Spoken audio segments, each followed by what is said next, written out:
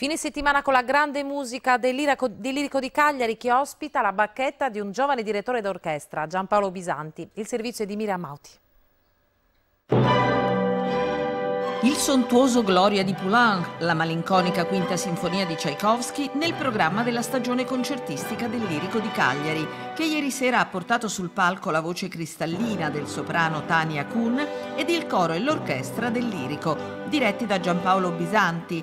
Per la giovane star del podio, oggi direttore del Petruzzelli di Bari, quello a Cagliari è stato un ritorno. Intanto prometto di essere felicissimo e di ritornare con gioia mm, al Teatro Lirico di Cagliari. Dunque la scelta è stata, mm, è stata molto azzeccata e molto intelligente perché è un connubio tra due autori, due epoche completamente diverse l'una dall'altra. Quindi mm, ciò fa, fa, fa capire che non ci deve essere necessariamente un nesso tra, in seno a un concerto tra, tra, tra le varie partiture eseguite.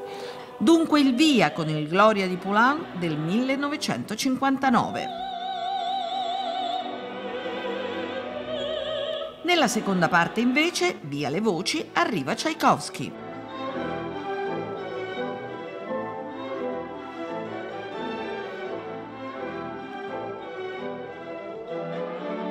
Stasera si replica alle 20.30, mentre dal 18 maggio il soprano Tania Kuhn torna in Santa Susanna di Indemit, insieme ad una cavalleria rusticana in ambientazione sarda per la regia di Gianfranco Cabiddu.